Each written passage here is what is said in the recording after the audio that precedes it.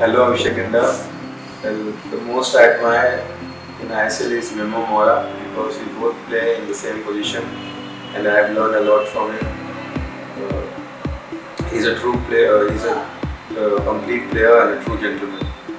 Uh, hello, Tanveer.